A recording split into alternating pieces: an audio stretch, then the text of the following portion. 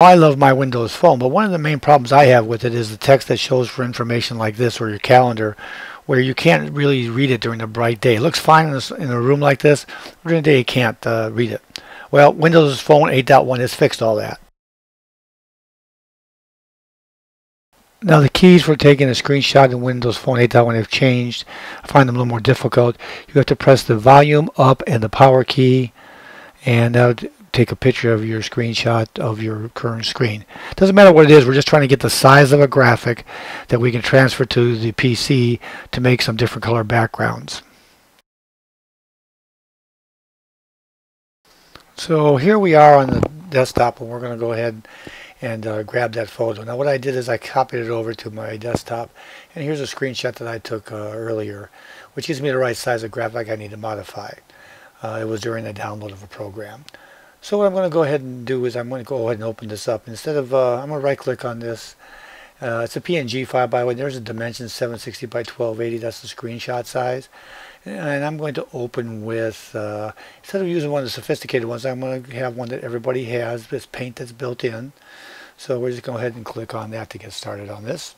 So once it comes up here, I'm going to go ahead and grab this uh, uh, entire size here by just simply clicking on the select uh, select all so everything's highlighted.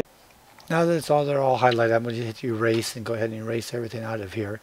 And I'm going to go ahead and choose a color. First color I'm going to do is a dark red. I'm going to click the fill tool, and fill it.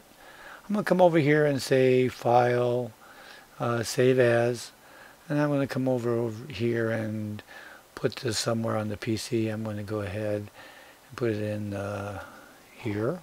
So here I am in public. I'm going to put it in public pictures. And I'm going to go ahead and call this oh phone dark uh, dark red uh, background. Now I'm going to skip through making a bunch of these. You just change a different color and do all that. You can make custom colors uh, using the paint controls here. So uh, we'll go ahead and skip over to where I have a whole bunch of these created. Well, once I, what I really want to do here is also show you you can create your own colors just by simply using the editing tools here. I'm going to do a darker one, the more steel looking one I want for my phone. And simply go over there and say, okay, use the fill tool, do it again, and we're going to save that again. So here I have, I have, I'm doing the last one. I've got about five or six of these done.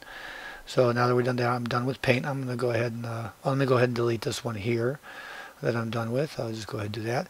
And now I'm going to plug in the phone and uh, transfer everything over to the phone. So what I did is I pl plugged in the phone, I've transferred over here. I'm in the directories for the phone. I'm going to go ahead and here's some of the pictures I have, things like that. I'm going to go back to pictures under screenshots. And uh, you'll see there's some screenshots here, one of which is the one I just was talking about earlier. But I'm going to go ahead and go out to this PC again. And I'm going to go find the pictures that I just did.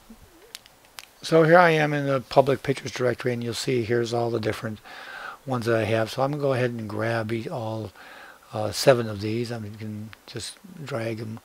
Uh, we're going to highlight them first, of course. And these are the options I create. You can create as many as you want. And you can make gradient ones. You can do whatever you want. But just drag them over here and let them go.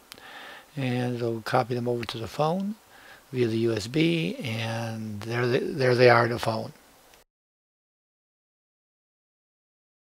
So now we're here at the phone and uh, we're going to go back and we're going to go back to the settings.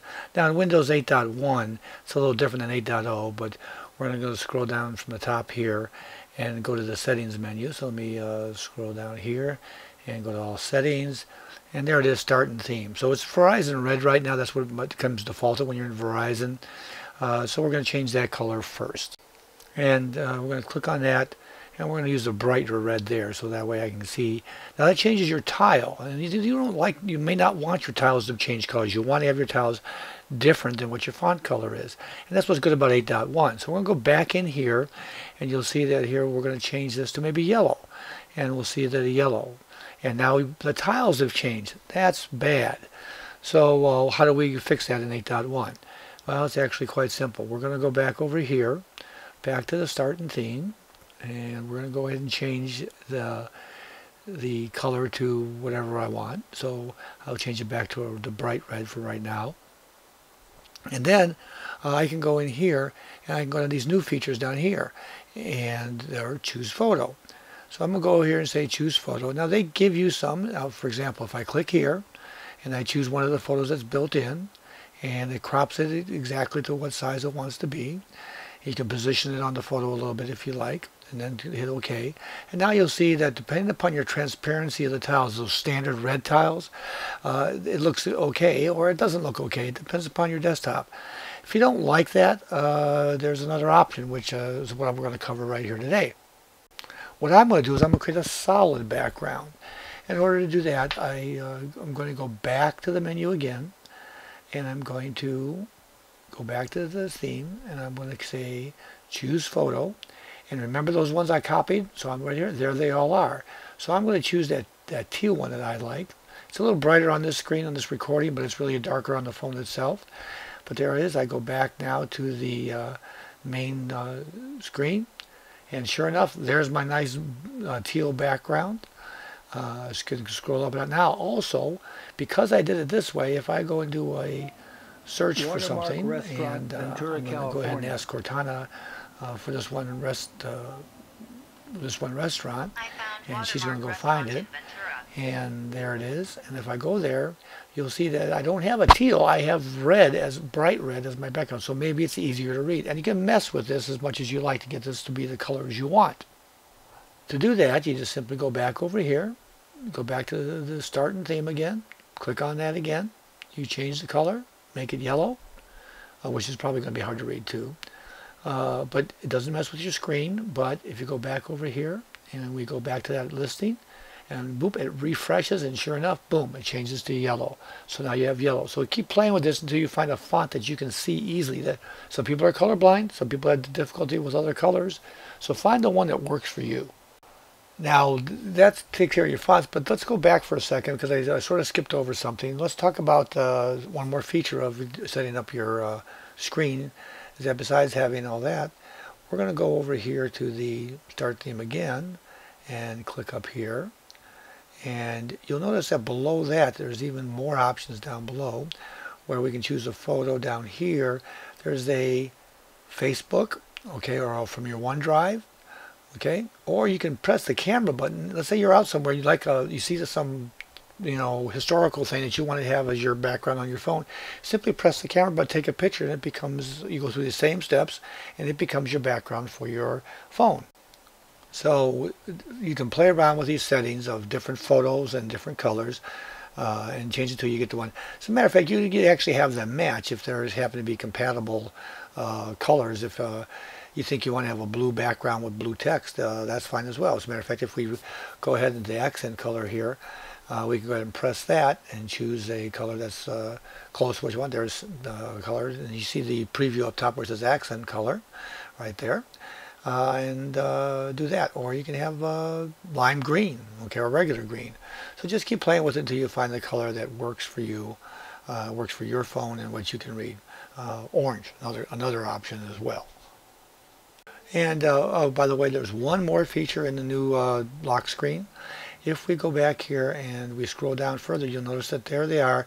You can add extra columns, show more tiles. Right now there's three across. If you press the bar up here, it'll actually change this to 4 across. Now it looks yellow down here, but that's only because that's the highlight color, but because we're overriding it with the graphic, it's really blue. But if we turn it on, you'll see that there's 4 down there. If we go to the screen, and sure enough, I now have this other column over here where I can put stuff in. For example, if I press and hold and slide that over, there's another column over there that you can mess with and add more, which gets you less vertical scrolling, which makes it easier for you to see more apps on the screen. And I'm going to probably play with this and see if I like this smaller uh, font or follow smaller uh, tile sizes. But you can, uh, that's one more feature with the new uh, start screen options. I'm going to go ahead and change it back for right now and I'm going to mess with that later.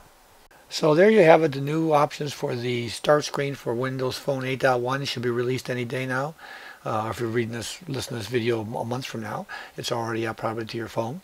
Uh, go ahead and play with it. You get nice color customization for your tiles and your fonts and uh, maybe even a photo or two. So it's up to you. So enjoy your new uh, start screen customizations from Windows Phone 8.1. Hey, for more great tips from Old Guy Geek, don't forget to subscribe. Uh, share it with your friends on Facebook or Twitter. Uh, take a look at our playlist, Windows 8 playlist, Windows Phone 8 playlist, and a general how-to, and of course our latest uh, feature video. And thanks for watching.